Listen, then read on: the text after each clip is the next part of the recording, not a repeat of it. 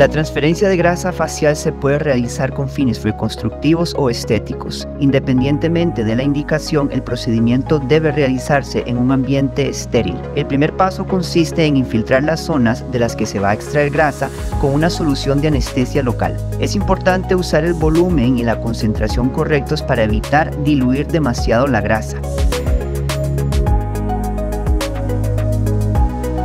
Después de unos minutos, se recolecta la grasa mediante la técnica de liposucción. Para este propósito empleamos una cánula de succión especial.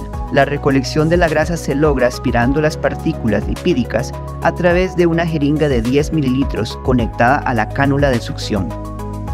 Siempre es importante recolectar más grasa de la que se requiere en el rostro, debido a que, tras procesarla, el volumen útil de grasa será menor. Además, se absorberá hasta el 50% de la grasa inyectada. La grasa debe procesarse para separar las partículas ricas en células madre de la sangre, el aceite y la solución de anestesia.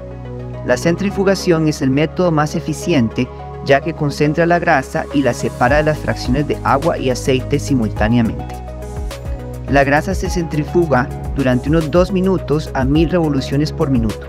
Las jeringas que contienen la grasa son manipuladas con cuidado por la enfermera instrumentista, asegurándose de mantener la esterilidad durante todo el proceso.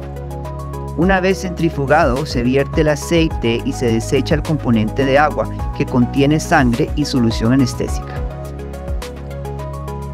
La grasa procesada se transfiere a jeringas estériles de 1 mililitro a través de un dispositivo acoplador.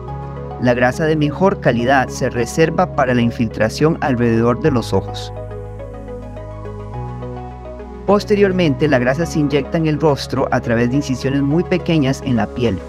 La mejor técnica consiste en distribuir la grasa en todos los planos tisulares, desde la piel hasta el hueso. Se emplean cánulas de infiltración de la marca Tulip diseñadas específicamente para este fin, la longitud y el calibre de la cánula deben seleccionarse cuidadosamente de acuerdo con la zona anatómica.